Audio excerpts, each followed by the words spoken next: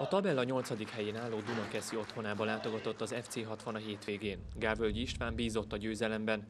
A mérkőzés előtt úgy nyilatkozott, a kupában nyújtott siker jó alapot adhat egy bravúros játékhoz. Kócián és Hibó piros lap miatt nem játszhatott, korán pedig továbbra is sérült volt a 60-iaknál.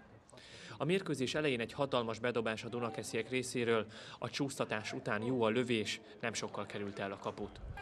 Radovics piszkálod a hátulról a Dunakeszi játékosnak, szabadrugással jöhetnek a hazaiak.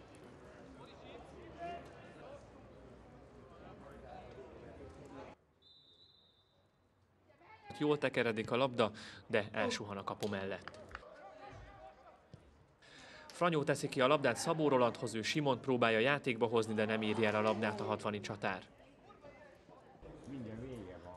Hibó íveli fel a labdát, Illés elé pattan egy Dunakeszi védőről, a lövést biztosan védte Beke. Hazai támadás Nagy Szilárd elcsúszik, átpattan fölötte a labda, hatalmas zicser, Bollók pedig még nagyobb bravút mutat be.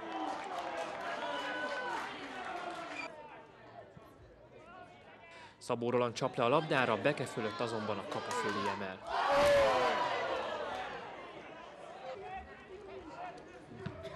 Radovics szerel jól, aztán befutja a labdát, visszateszi Szabónak, aki indítja Hibót. Hibó laposan passzol Surányihoz, aki szépen fejezi be a támadást, vezet az FC 60.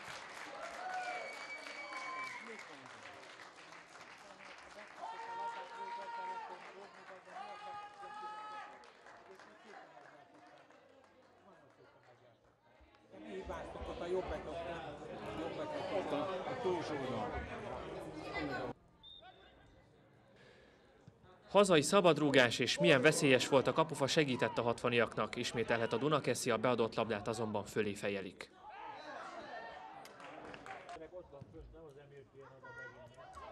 Tovább nyom a hazai csapat a második félidőben, és a szélről bejövő labdára érkező ember is van. Ismét szerencsével menekült meg a 60 kapu. Újabb jó beívelés, a fejes is pontos, Bollók kiüti a labdát.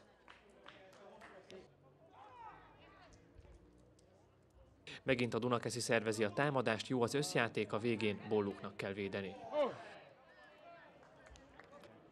Hazaadás miatt közvetett szabadrúgást végezhet el a 60 csapat 12 méterről, Nagy Szilárd a kirobbanó játékosból lövi a labdát, Franyó pedig fölé vágja az ismétlést. A Dunakeszi játékos áthámozza magást a 60 védelmen, az utolsó pillanatban azonban Illés belevetődik a lövésbe. Tóth passzol Franyóhoz, a lövés megpattan a védőkön, Beke biztosan véd. Tari szögteti Simont, aki 15 méterről a kapus kezébe pöcköli a labdát. A szöglet egy 60 fejről az ellenfélhez pattan, veszélyes volt a helyzet, Bollók véd.